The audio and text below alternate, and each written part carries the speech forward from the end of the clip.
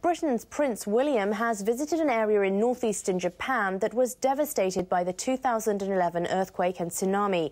He went to the city of Ishinomaki in Miyagi Prefecture on Sunday.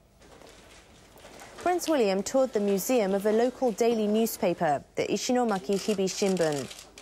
Reporters at the paper continued writing with pens after the quake caused a blackout and shut down their printing presses.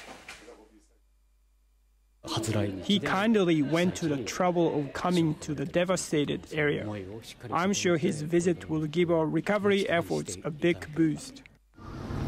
The prince also visited a park on a hill with a view of the area struck by the tsunami. He offered flowers in memory of victims.